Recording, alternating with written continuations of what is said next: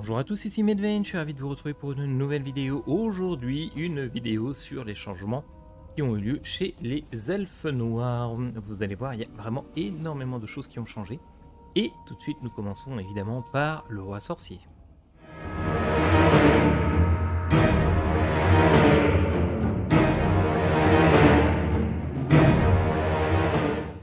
Commençons tout d'abord par le gros changement qui est survenu dans l'armée des elfes noirs. En effet, la capacité prouesse meurtrière a été modifiée.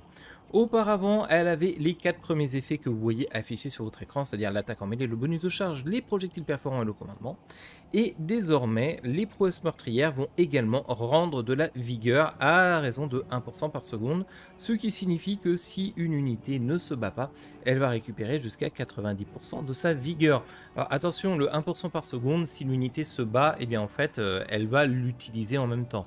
Donc euh, ça va juste permettre de garder des unités au même niveau de vigueur que ce qu'elles avaient avant, de lancer la prouesse meurtrière, mais ça ne va pas rendre toute sa vigueur à une unité qui est déjà en train de combattre, de charger ou ce genre de choses. Par contre, si l'unité est au repos, est un peu en arrière ou dans n'importe quel état où elle n'est pas directement engagée ou en train de faire une action fatigante comme monter à une échelle, et eh bien dans ce cas-là, vous allez voir sa vigueur revenir à 90% de ce qu'elle était au départ. Second changement important chez les elfes noirs, le système d'esclavage. Et oui, les esclaves, c'est plus du tout comme avant. Désormais, vous avez une jauge d'esclaves qui se trouve au-dessus et qui contribue à votre économie. Donc là, on n'a que 200 esclaves, vous pouvez le voir, et avec une seule colonie, nous pourrons avoir jusqu'à 600 esclaves. Pour augmenter ce compte d'esclaves, vous avez plusieurs façons de le faire. Vous pouvez utiliser des bâtiments. Hein. Donc les bâtiments euh, de marchands esclaves ont bien évolué. Vous voyez que l'emploi à esclaves augmente de 500 la capacité en esclaves de la faction et vous donne également 5 esclaves par tour. Et si vous le mettez au niveau supérieur, ça donne carrément 1000 esclaves supplémentaires en capacité et ça augmente le nombre de vos esclaves de 10 par tour. Voilà, pourquoi ça? Eh bien, vous ne pouvez plus gérer des esclaves comme avant, on ne peut plus les répartir entre les différentes colonies. Et à la place, lorsque vous avez des esclaves, voici les options qui s'offrent à vous. La première, c'est combattre jusqu'à la mort. Donc, on regagne un plus 20 d'autorité dans la province pour un coût de 200 esclaves. Et on ne peut pas euh, changer de dictat d'esclaves entre deux utilisations. Donc ça, c'est un petit peu dommage, mais euh, le 20 d'autorité est absolument énorme, donc voilà, ça coûte 200. Ensuite, vous avez les marchés livres, ça vous génère 1000 de trésorerie quand c'est activé, donc ça veut dire que pendant 5 tours, vous allez gagner 1000 de trésorerie supplémentaires et plus 2 d'autorité dans la province où c'est initié. Ensuite, vous avez l'esclavagisme qui vous donne plus 50 de croissance et un coût de construction réduit pour tous les bâtiments. Voilà, chacun de ces dictats est exclusif les uns des autres et euh, posséder des esclaves va également faire baisser votre ordre public. Alors là, euh, on n'en a pas assez pour que ce soit significatif, mais vous allez voir que le système a énormément changé. Et on ne peut plus avoir une économie absolument surpétée, surabusée comme avant. Et avec les elfes noirs, il va falloir mouiller un petit peu la chemise et vraiment euh, vivre notre destin de pillard de, des mers, euh, des terres, euh, vraiment aller chercher l'argent là où il est pour à nouveau avoir une économie convenable et les capacités des elfes noirs dans ce genre de cas ont été légèrement augmentées. Ensuite, du côté de Malekith en lui-même, nous avons comme à chaque fois un set d'objets hein, qui se trouve ici à quête.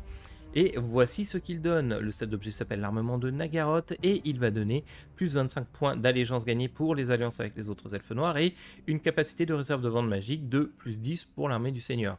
Bon, la, la, capacité de réserve est correcte. Euh, les points d'allégeance, plus 25% pour les alliances, ouais, ça peut être un petit peu plus utile que chez certains peaux vertes. Je dirais que chez les elfes noirs, ça se justifie légèrement plus, mais je ne suis toujours pas très impressionné. Passons maintenant du côté de Morati et il y a énormément de changements chez la mère des Druki. Comme vous le voyez, la corruption qui s'abat dans sa province n'est plus une corruption du chaos universel, mais une corruption de Slanesh qui va bah, augmenter les revenus qui sont générés par les esclaves de 10% dans le cas actuel. Plus la corruption progresse, plus ces revenus vont augmenter et euh, vous n'avez plus l'énorme malus d'ordre public que vous aviez avant euh, pour euh, le fait d'avoir ou pas de la corruption chez elle. Ça, c'est plutôt un buff de la faction. L'autre chose qui change énormément chez Morati, c'est son armée de départ. Et oui, vous le voyez, désormais nous avons deux furies, une démonette et deux ombres ainsi que des affrelances. Exit l'hydre, donc euh, c'est une armée qui est très différente de ce que l'on avait l'habitude de jouer. Euh, qui est beaucoup plus basée sur la rapidité et la mobilité, ce qui correspond un petit peu plus à Morati, pourquoi pas.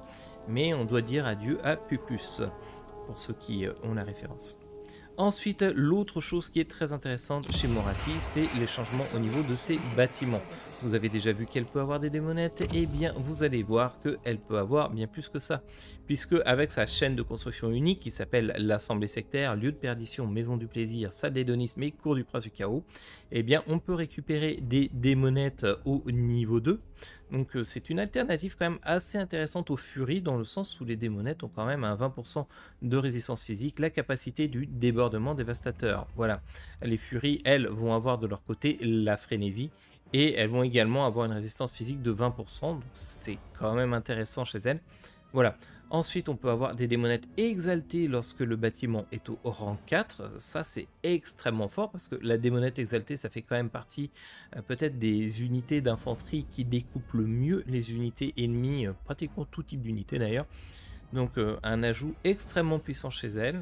Le souci qu'il y a à prendre les démonettes chez Morati, eh bien, c'est que ces dernières ne vont bénéficier d'aucun des bonus dont pourraient bénéficier les furies avec l'arbre de talent du seigneur. Hein. C'est-à-dire que c'est agréable d'avoir des démonettes et ça peut être utile d'en avoir une ou deux, mais euh, malheureusement, vous n'avez euh, nulle part quelque chose qui améliore les démonettes dans l'arbre rouge, ni même dans les arbres spéciaux de Morati qui restent toujours mutuellement exclusifs.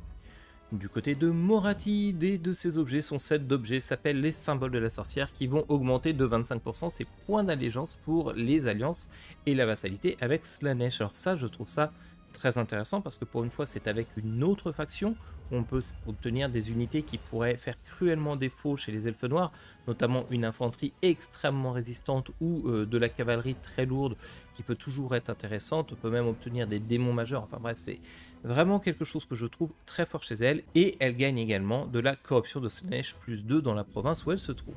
Une chose qui aurait dû être changée à mon avis, c'est la corruption du chaos universel qui est euh, apportée par ces épées, hein. c'est plus 5 dans la province locale. Normalement, ça aurait dû être de la corruption de Slanesh, hein, j'imagine. Je pense que c'est plus un oubli que quelque chose de volontaire. En tout cas, euh, ça reste pour moi un des défauts de ces armes qui, euh, au demeurant, restent quand même de très très bonnes armes, surtout avec leur capacité passive. Du côté de l'arène sanglante Elebron, le nouvel système d'esclaves est un petit peu euh, compliqué à gérer. En effet, vous voyez que on a toujours cette quantité limitée d'esclaves et les nuits de la mort, et eh bien comme euh, avant, elles coûtent à chaque fois 100 d'esclaves supplémentaires, ce qui condamne Elebron à vraiment s'étendre au niveau du territoire pour pouvoir continuer à lancer ces nuits de la mort parce que bah, sinon, au bout d'un moment, elle ne va plus y arriver. Ça, c'est vraiment le premier truc qui pénalise énormément la matriarche sanglante. Sinon, elle commence non plus en guerre directement avec Grande, hein, avec laquelle elle est maintenant en paix, mais avec des orques d'une faction qui s'appelle les briseurs de cage. Donc euh, voilà, c'est plutôt en raccord avec le lore quelque part, euh, des esclaves de Arganès qui se révoltent et elle qui vient pour mater la révolte. Pas de changement dans son armée de départ, hein, qui reste toujours la même. Euh, que je trouve relativement forte, en tout cas chez Elfes Noirs, surtout avec les exécuteurs et quand même les Sœurs du Massacre qui sont deux excellentes unités dans cette faction. Du côté de Hellebron en elle-même, on n'a pas de changement majeur chez elle, mis à part encore une fois un set qui s'appelle les Curiosités Sombres. Ils vont donner plus d'autorité sur toutes les provinces et le coût du rituel de moins 50%. Attention, les rituels, c'est ça, hein. c'est ce que vous avez dans les rites ici. Ça n'est pas une seule seconde les euh, nuits de la mort. Ça ne compte pas malheureusement pour la nuit de la mort. C'est un petit peu dommage. Par contre, du coup, Elebron récupère tous les rites à moitié prix. Et donc, elle passe de 400 à 200 esclaves. Et même pour le sacrifice à Ken, elle passe à un petit peu moins de 134 esclaves. Enfin, c'est vraiment très intéressant le sacrifice à Ken euh, avec elle. Mais voilà, pas d'autres changements particuliers chez notre matriarche. Passons maintenant du côté du seigneur Kraken Lokirfell-Hart. Alors vous voyez qu'il change complètement d'emplacement de départ. Hein. Nous sommes en Cathay et nous sommes en guerre avec des pirates zombies. Bon, ça finalement c'est un petit peu semblable à ce qu'on pouvait avoir lorsque l'on commençait Industrie, pas loin de Luthor Archon. Cette fois on les affronte directement. Et euh, faites euh, très attention dans la première armée, hein, je dis ça, je dis rien, il y a quand même des gardes des profondeurs, euh, je ne sais pas si vous avez noté, mais cette unité a été un petit peu améliorée et elle fait très très mal.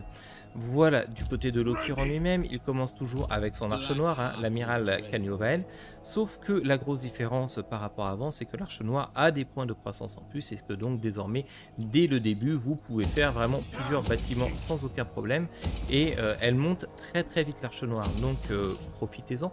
Enfin, ce n'est qu'un humble conseil. Et la deuxième chose qu'il faut savoir avec une arche noire, c'est que euh, va également permettre d'augmenter les capacités en esclaves de la faction. Et chaque niveau de l'arche noire augmente les capacités en esclaves, ce qui signifie que euh, bah, c'est extrêmement intéressant d'avoir beaucoup d'arches noires, puisque ça vous permet d'avoir évidemment beaucoup plus d'esclaves. Alors, il a toujours son effet comme quoi, euh, à chaque fois qu'il possède un port majeur, il peut récupérer une arche noire supplémentaire. Donc un port majeur, ça ne vaut pas seulement que parce qu'il vous apporte euh, en termes de territoire, ça vaut aussi parce que ça vous apporte une arche noire. Ça reste toujours très intéressant dans sa faction. Et enfin, il va avoir un bonus de 7, hein, comme les autres seigneurs. Et le sien s'appelle l'effroi du marin, qui va donner 1 d'autorité dans toutes les provinces et un plus 6 d'attaque en mêlée en combat en mer pour toutes les armées de la faction. Euh, c'est un bonus convenable, euh, même si je ne le trouve pas euh, particulièrement fort par rapport aux autres que l'on a vus auparavant. Enfin, dernière modification chez le Seigneur Kraken, il commence désormais avec une sorcière du domaine de la mort qui s'appelle Jeshia Gordorth. Je ne sais pas comment ça se prononce exactement.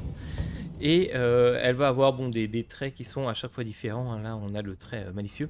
Mais euh, c'est intéressant d'avoir une sorcière du domaine de la mort parce que je rappelle que dans le domaine de la mort, on a cette compétence qui est très intéressante qui s'appelle le dévoreur d'âme qui donne moins 30 d'armure, moins de dégâts de base et moins de dégâts des armes perforantes.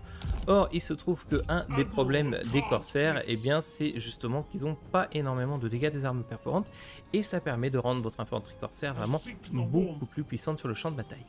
Continuons avec Malus Darkblade qui lui aussi a bien déménagé pour venir se mettre tout au nord des terres du Vieux Monde et oui il se trouve à côté de la forteresse du Roc Noir. Alors vous notez qu'elle ne lui appartient pas, il va devoir aller la chercher.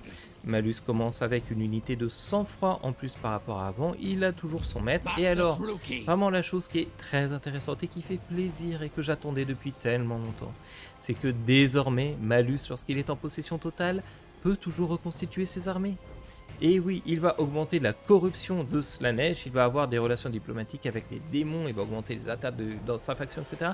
Bref, euh, au final, euh, désormais, utiliser l'élixir, bah, c'est presque plus une bonne idée, puisque en fait, euh, bah, quand on se trouve voilà, comme ça, à, un contrôle total, bah, on a plus de malus en fait euh, de bonus. Alors la chose qu'on a quand même quand on est en possession totale, c'est qu'on déverrouille le rite du maître de guerre. Donc le rite du maître de guerre, c'est celui que vous avez ici, qui permet à une armée dite de dragons, de sang-froid, cariablis, manticore, etc., de popper sur la capitale de la faction. Donc voilà, c'est un rite qui coûte extrêmement cher, 12 000. Euh, est-ce que ça vaut vraiment le coup? Moi, je ne suis pas tout à fait sûr. Euh, je trouve que le malus de possession totale, désormais, bah, il est presque négligeable et c'est plus très utile de boire de l'élixir euh, pratiquement à chaque fois qu'on en a besoin euh, pour essayer de reconstituer ses troupes. Non, non, désormais, les troupes se reconstituent tout à fait normalement. Alors, petite chose, il commence toujours avec l'amiral parasite, hein, c'est son arche noire. Elle n'a pas changé, c'est la même, seulement la sienne, elle a carrément 4 points de croissance de population, ce qui est assez énorme, il faut bien le dire. Alors, lorsque vous prenez la ville qui était à côté de Manus, vous allez avoir l'option de vendre Agref. Et oui, Agref, c'est la ville que vous possédez au départ. Hein. Donc elle se trouve ici. Elle va avoir quand même quelques petits changements, notamment elle ne dispose plus dès le départ du bâtiment qui s'appelle le visage de Agref. Et ça, c'est terminé. Et vous n'avez également plus une armée euh, dans la ville. Euh, armée qui était bien utile pour aller euh, conquérir un petit peu les cités qui se trouvent autour. Non, ça, c'est terminé. Désormais, si vous voulez ces armées, il faudra aller les chercher. Enfin, dernier seigneur elfe noir et le dernier de cette vidéo, Rakars. Alors lui, il a juste changé d'endroit. Il est passé de Albion à la Lustrie, un bois qui commence sur l'île de la Grande Tortue, ce qui était l'emplacement de départ de Teclis dans le Total War Warhammer 2 sur la carte du Vortex. Donc euh, bah, c'est la même chose, hein. il est en guerre d'ailleurs contre exactement la même faction que Teclis, les Sentinelles de Xeti. Son armée de départ ne change pas d'un iota et il va gagner un set et ce set eh bien s'appelle l'aide du maître des bêtes. Alors, il a déjà l'armure des bêtes de 40k et son set va lui donner plus 1 d'autorité sur toute la province et plus 4 au rang de recrutement des monstres dans toutes les armées de la faction. Et ça c'est extrêmement fort. On peut vraiment pas le nier, ça fait probablement partie des meilleurs bonus de set que l'on a pu voir chez les elfes noirs. Voilà, c'est tout en ce qui concerne les changements qui affectent les Druki. Alors, je vais juste me faire un tout petit peu de pub à la fin. Vous avez un lien en dessous de la vidéo pour obtenir le DLC des Guerriers du Chaos moins cher avec le partenaire Games Planet. Si vous l'achetez là-bas, ça soutient un petit peu la chaîne. Voilà, ça fait toujours plaisir. Mais évidemment, vous faites ce que vous voulez. Merci à tous d'avoir suivi jusqu'ici. Je vous dis à très bientôt.